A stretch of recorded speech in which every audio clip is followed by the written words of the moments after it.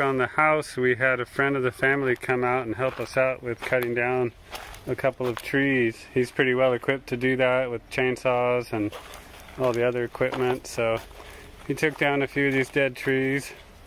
And this big one over here is pretty cool because we're left with this with this the base of the tree which is making a great bench.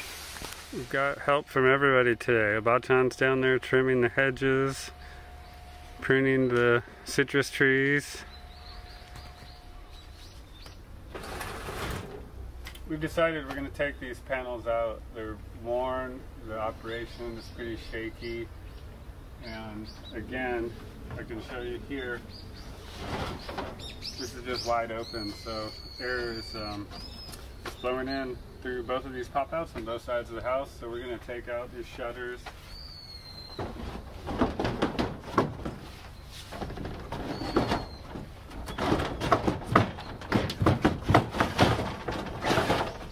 So they could they could be rebuilt, but the operation is pretty pretty bad on these. So what we want to do is get this wall, this this taken off, this storage bin, get the wall framed in, get some wall sheathing on there, insulation, and then we'll figure out a nice detail for some siding we want to do here.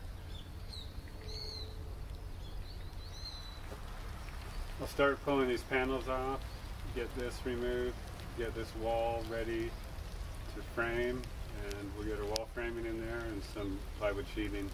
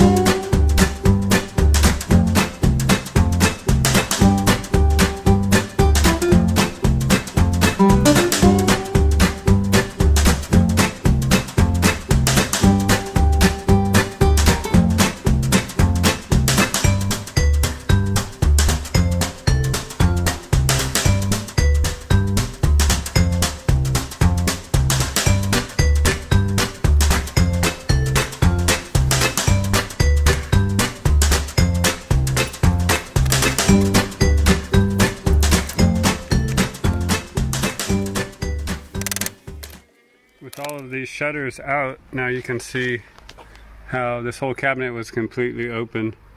Big giant gap and an open wall in there. So we're gonna go ahead and remove this cabinet now. We'll try to reuse what we can.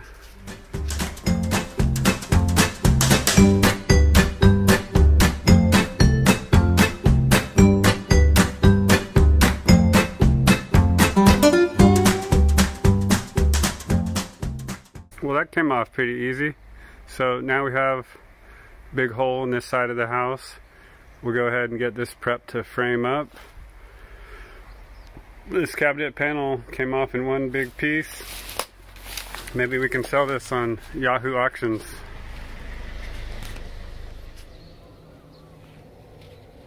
All right, we got this cabinet off and the trim around it is off as well.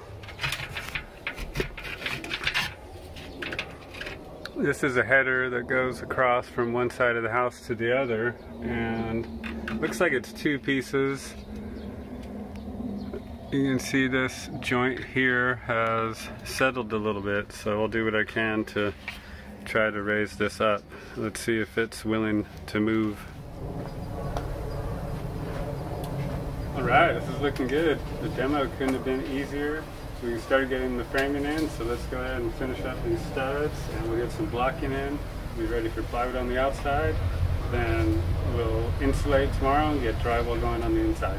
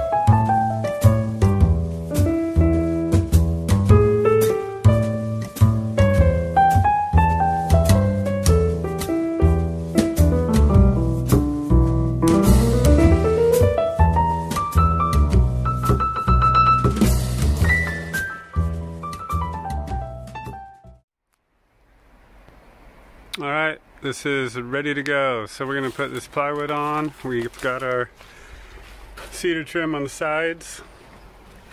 Everything is all framed. Top is blocked. We got our trim on here. So we'll get this plywood in and then tomorrow we'll get the inside insulated and get some drywall in there.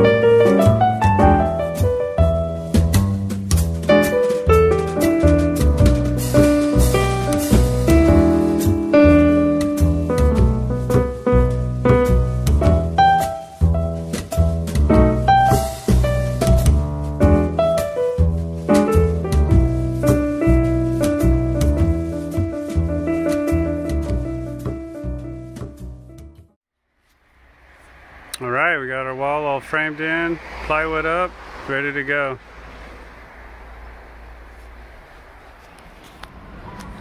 Here we are early at Nishimuta. Got to pick up a few more supplies.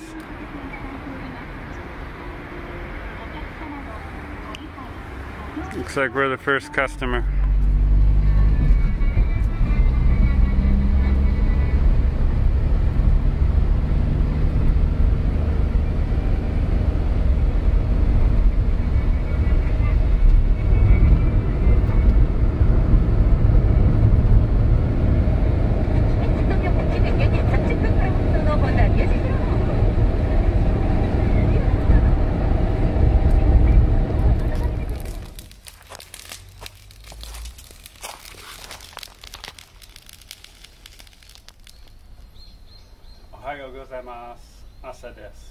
It's morning.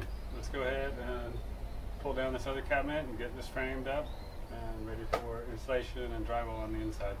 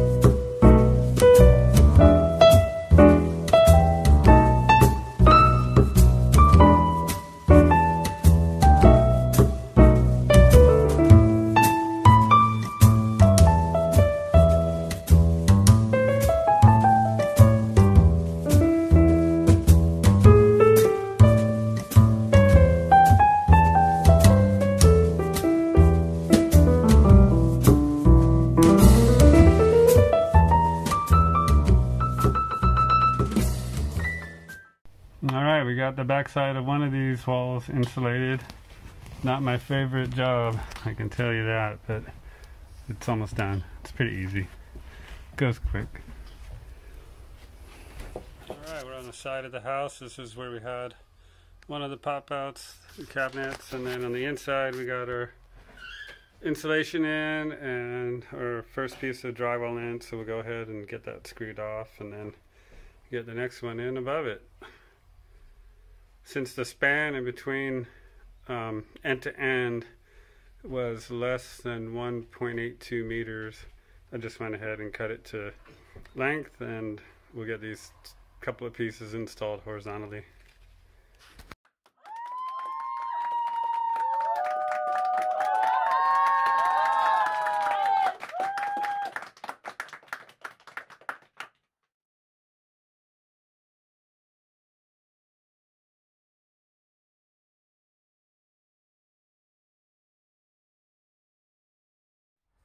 Right, we're on the north side now. I'm gonna start this horizontal siding.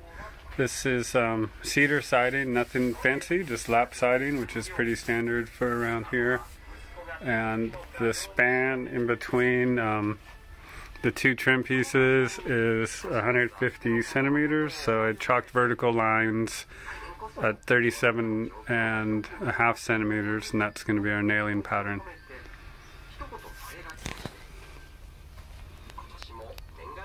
This is some of the bundles of the siding. We've got the finished pre-stained siding here, and then over here is our stain production center.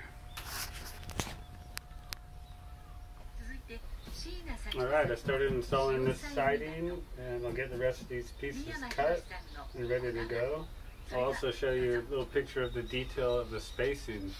So typically you often see these installed um, with no spacing in between them at all, just laid tight, but I'm putting a little space there of probably four millimeters or so, and that provides um, a little relief on the spacing between them, so you see it adds an extra little detail.